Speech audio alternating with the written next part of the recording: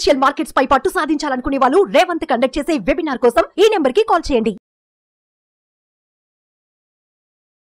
నమస్తే welcome to Suman TV. నేను విష్ణు. ప్రస్తుతంతో పాటు NISM and CRISIL certified wealth manager Revanth చలంలో ఉన్నారు. వారితో మాట్లాడదాం. నమస్తే రేవంత్. నమస్తే అండి. రేవంత్ దీపావళి వస్తుందంటేనే మార్కెట్లో ఒక రకమైన భయం. అదేంటో అర్థం కాదు.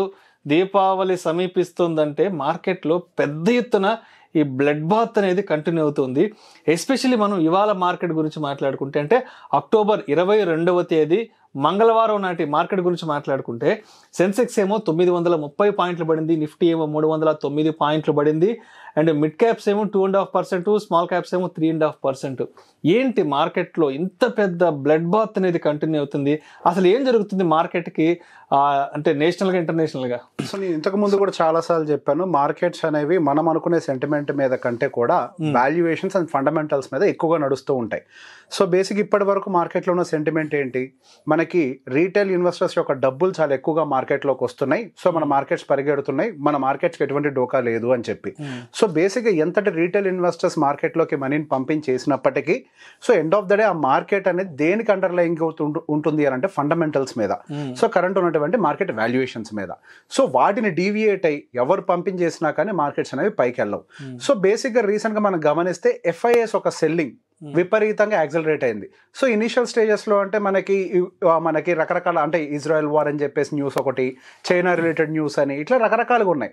అవన్నీ సబ్సైడ్ అయినప్పటికీ కూడా మన ఇండియాలో మాత్రం సెల్లింగ్ అనేది జరుగుతూనే ఉంది.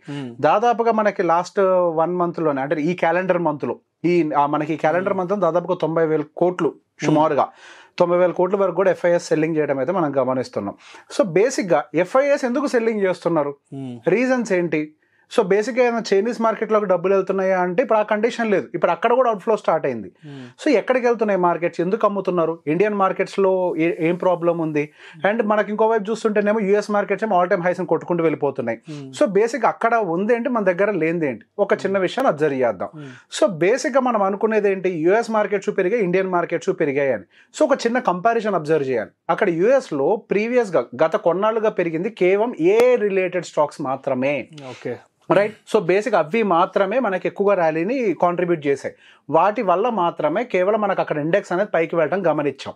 గత కొన్ని రోజులుగా ఏ రిలేటెడ్గా ఎటువంటి మూమెంటం లేకపోయినా ఏవైతే ప్రీవియస్గా పర్ఫామ్ చేయలేదో ఒక ఏ తప్పించి మిగతా ఏవి కూడా పర్ఫామ్ చేయలేదు. ఇన్ఫాక్ట్ అక్కడ mid cap and small cap sectors చాలా అట్రాక్టివ్గా ఉన్నాయి. సో బేసిక్ అన్నిట్లో కూడా ఇప్పుడు బ్రాడ్ బేస్ బయింగ్ జరుగుతుంది. అక్కడ వాల్యుయేషన్స్ బాగున్నాయి. దేంతో కంపేర్ చేస్తే? మన ఇండియన్ ఓవరాల్ మార్కెట్తో కంపేర్ చేస్తే. అదే మన ఇండియన్ ఓవరాల్ మార్కెట్ విషయంలో ఏం జరిగింది? మన దగ్గర బ్రాడ్ బేస్డ్ బయింగ్ జరిగింది మార్కెట్ అంతటా. సో బేసిక్ ఒక సింగిల్ సెక్టర్ అని కాదు. ప్రతి ఒక్క సెక్టర్ ర్యాలీ అయింది. అన్ని ఇండెక్స్లు ర్యాలీ అయ్యాయి. ఆల్మోస్ట్ ప్రతి స్టాక్ పైకి ర్యాలీ అయింది. సో బేసిక్గా మనకు ఒక బ్రాడ్ బేస్డ్ ర్యాలీ జరిగింది. బ్రాడ్ బేస్డ్గా మనకి వాల్యుయేషన్ బాగా ఎక్కువకి వెళ్ళిపోయింది. ఇండెక్స్ లెవెల్లో కాదు.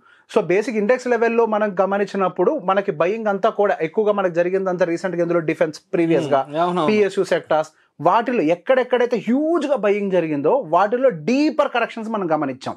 అండ్ దాదాపుగా పిఎస్యు బ్యాంక్స్ అయితే దాదాపుగా ట్వంటీ పర్సెంట్ పడిపోయినాయి. రీసెంట్ హై నుంచి. అది హ్యూజ్ సెల్లింగ్ అది. ఇన్ఫ్రాస్ట్రక్చర్ దాని హైన్ బ్రేక్ చేయడం కష్టపడుతుంది. డిఫెన్స్ స్టాక్స్ అయితే ఫార్టీ ఫార్టీ ఫైవ్ పర్సెంటేజ్ తోటి కరెక్షన్ గురైపోయినాయి.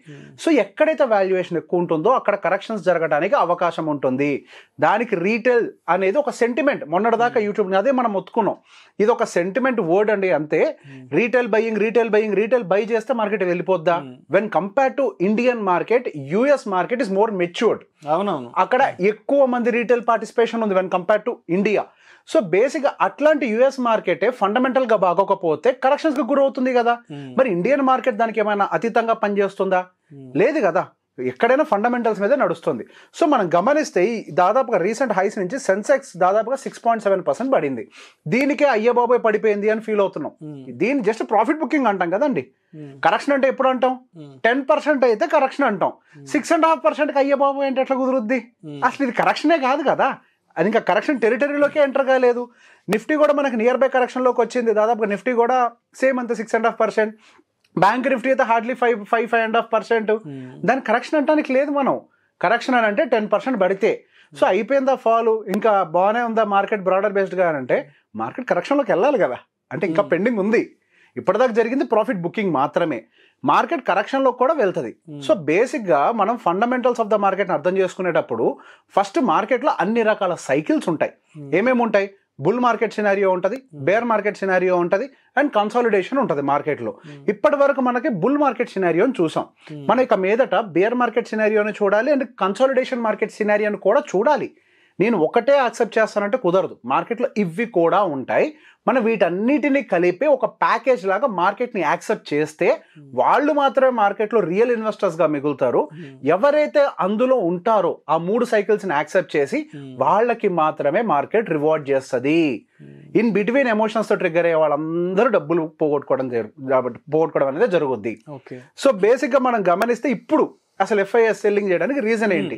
సో మేజర్గా ఎఫ్ఐఎస్ సెల్లింగ్కి రీజన్ ఏంటి అని అంటే ఒక రకంగా ఫైనాన్షియల్ క్రెడిట్ బబుల్ బిల్డ్ అవుతుంది అని చెప్పేసి మనం ఇంతకుముందు చాలా వీడియోలు చేసాం విపరీతమైన క్రెడిట్ బబుల్ బిల్డ్ అవుతుంది. So basic one single reason is financial credit bubble అనేది ఇప్పుడు కనిపిస్తున్నటువంటి ఒక రీజన్ మనకు హండ్రెడ్ పర్సెంట్ మనకు అదే అని ఎవరు చెప్పలేము బట్ మనకి ఏదో ఒక పాసిబిలిటీ పెట్టుకోవాలి. దేని వల్ల కరెక్షన్ జరుగుతోంది? సో అంత బాగానే ఉంది కదా మార్కెట్లో ఎక్కడ జరుగుతున్నాయి ప్రాబ్లమ్స్ అని అంటే మనకి ఈ ఫైనాన్షియల్ ఇండస్ట్రీలో కొద్ది క్రెడిట్ బబుల్స్ బిల్డ్ అయినాయి. వాటి వాల్యుయేషన్స్ ఎక్కువగా ఉన్నాయి. ఏదైనా డిఫాల్ట్ కనుక జరిగితే అసలు ఒక ఫైనాన్షియల్ సెక్టర్ ఇంపాక్ట్ అయింది అంటే అన్ని సెక్టర్స్కి ఇంపాక్ట్ జరుగుతుంది కాబట్టి. సో బేసిక్గా ముందుగానే వాళ్ళు అమ్మేస్తారు. ఎప్పుడైనా మార్కెట్ అనేది యాక్చువల్ న్యూస్ ముందు రాకముందే. న్యూస్ రాకముందే రియాక్ట్ అయిపోతుంది. న్యూస్ వచ్చిన తర్వాత ఇంకా రియాక్షన్ ఏమి ఉండదు కదా. అదే కదా మన మార్కెట్ బిహేవియర్.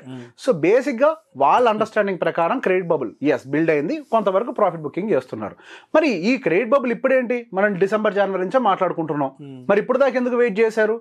అమ్మటం మొదలు పెట్టేవాడు ఎప్పుడు అమ్ముతాడండి ఫుల్గా ప్రాఫిట్ వచ్చేదాకా వెయిట్ చేస్తాడు. ఆ ఫుల్ ప్రాఫిట్ ఎప్పుడు వస్తుంది లాస్ట్ బుల్ మార్కెట్లోకి ఎంటర్ అయ్యేదాకా వెయిట్ చేస్తాడు. లాస్ట్ బుల్ ఎప్పుడైతే మార్కెట్లోకి ఎంటర్ అవుతుందో అప్పుడు వాళ్ళు సెల్ బటన్ ట్రిగ్గర్ చేస్తారు. సో బేసిక్గా మనకి ఎప్పుడైతే ట్వంటీ సిక్స్ థౌసండ్ మార్క్ దాటిందో వెంటనే మార్కెట్స్ అన్ని రివిజన్ చేసేసుకొని టార్గెట్ ట్వంటీ సెవెన్ థౌసండ్కి తీసుకెళ్ళిపోయాయి.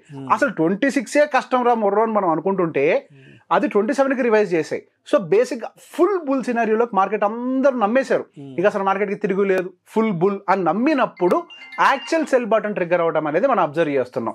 సో ఎవ్రీ టైం ఎప్పుడైనా ఎప్పుడు బాటమ్ అవుట్ అవుతుంది అని అంటే లాస్ట్ బియర్ మార్కెట్లోకి అంటే ఇక మార్కెట్ ఇంకా పడుతుందేమో అని అందరు లాస్ట్ దాకా నమ్ముతారు చూసారా? అప్పుడు మార్కెట్ బాటమ్ అవుతుంది బాటమ్ అవుట్ అవుతుంది. నేను ఇంతకు ముందు కూడా ఇంకా సింపుల్ ఎగ్జాంపుల్ చెప్పాం. సో బేసిక్గా మార్కెట్లో మనకి ఇప్పుడు రీటైలర్స్ ఇంకా కంప్లీట్గా ప్యానిక్లోకి వెళ్ళలేదు. ఎందుకు పడుతుంది అన్న కన్ఫ్యూజన్లోనే ఉన్నారు. సో బేసిక్గా మార్కెట్లో ఎప్పుడు రియల్ ప్యానిక్ క్రియేట్ అవుతుంది అంటే రీటైలర్ మైండ్లోకి భయం ఎప్పుడు ఎంటర్ అవుతుందో అప్పుడు మార్కెట్లో రియల్ ప్యానిక్ అనేది క్రియేట్ అవుతుంది. ఇప్పటిదాకా జరిగింది అసలు ఫాలో కాదు. అగ్రెసివ్గా లేదు. Sir market within no time five percent టప్మని పడిపోయిన రోజులు లేదా? వన్ అండ్ హాఫ్ పర్సెంట్ ఒక రోజు పడితేనే భయపడిపోతామా? మొత్తం ఇన్ని రోజులు కలిపి హార్డ్లీ పడితే ఎయిట్ పర్సెంట్ సిక్స్ పర్సెంట్ పడ్డది కదా మార్కెట్ అది nothing so three percent four percent పడ్డ రోజులు చూడలేదా మార్కెట్లో అది ఎప్పుడు జరుగుద్ది అంటే రీటైలర్ భయపడ్డ రోజు జరుగుద్ది. రీటైలర్ భయపడ్డా? ఎవరైనా భయపడాల్సిందే. మహామహులే భయపడిపోతారు మార్కెట్ని చూసి. ఆ, ఎప్పటి వరకు ఈ సినారియో మార్కెట్లో కంటిన్యూ అవకాశం ఉందంటారు? ఇంత blood bath or volatility so బేసిక్గా మార్కెట్లో మనకి వాల్యుయేషన్స్ గురించి మనం ఫస్ట్ నుంచి మాట్లాడుతున్నాం. ఇప్పుడు ఏవైతే మార్కెట్స్ ర్యాలీ అయ్యాయో మా మనకి ఈ కంపెనీ యొక్క బుక్ వాల్యూ తోటి మ్యాచ్ లేకుండా అగ్రెసివ్గా పైకి వెళ్ళిపోయినాయి. అండ్ పిఈ రేషియో సంబంధం లేకుండా అగ్రెసివ్గా పైకి వెళ్ళిపోయినాయి. సో బేసిక్గా మనం ఇంతకు ముందు నుంచి కూడా ఒకటే పాయింట్ స్టిక్ అయి ఉన్నాం. మనము పైకి వెళ్తుంది కదా అని కొనకూడదు. వాటి వాల్యుయేషన్స్ బాగుంటేనే కొనాలి. అవి ఎంతకైనా పైకి వెళ్ళి అవి మనకి కాదు అని. సో ఎప్పుడు అగైన్ మనకి మార్కెట్లో ఫాల్ అనేది కొద్ది కంట్రోల్లోకి వస్తుంది అని అంటే స్టాక్స్ యొక్క పిఈ వాల్యూస్ అనేవి ప్రాపర్ రేంజ్లోకి వచ్చినప్పుడు. సో బేసిక్గా మార్కెట్లో వాల్యుయేషన్స్ అనేవి చాలా హైగా ఉన్నాయి. పిఈ అనేది మనకి ఓవర్ వాల్యుయేషన్కి నియర్ బై వెళ్ళిపోతుంది. And mid and small cap అయితే ఆల్ టైమ్ ఎప్పుడూ చూడని పిఈ రేషియోస్ని హిట్ చేసేసాయి. సో హై వాల్యుయేషన్లో ఉంది. కంపెనీ నెంబర్స్ పోస్ట్ చేస్తుంటాయి. ఆ నెంబర్స్ తోటి కనుక పిఈస్ కనుక మ్యాచ్ అవ్వకపోతే ట్రిగ్గర్ అవుతుంది. సో బేసిక్ ఇప్పుడు టూ సినారియోస్ జరగాలి. ఒకటి ఆ పిఈ రేషియోస్ అనేవి ఈ కరెక్షన్స్ వల్ల కిందకన్నా రావాలి. లేదా కంపెనీస్ అగ్రెసివ్గా వాళ్ళ యొక్క గ్రోత్ను డెలివర్ చేస్తే అప్పుడు ఆ పిఈ రేషియో అనేది అగైన్ మనకి ఈక్వలెంట్ అవుతుంది. దెర్ ఆర్ టూ వేస్ మనకి ఎప్పుడైనా పిఈ రేషియో అనేది మ్యాచ్ అవడానికి ఒకటి నెంబర్స్ వల్ల రెండు ప్రైస్ కరెక్షన్ వల్ల. సో ఏది ముందు జరుగుద్ది అంటానికి ఎవరని చెప్పలేం.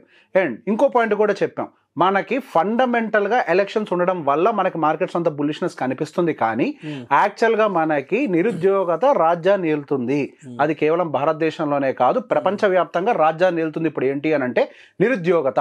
నిరుద్యోగత ఉంది అంటే మనం ఒక విషయం అర్థం చేసుకోవాలి. అక్కడ ఎకానమీస్ బాగోలేదు అని.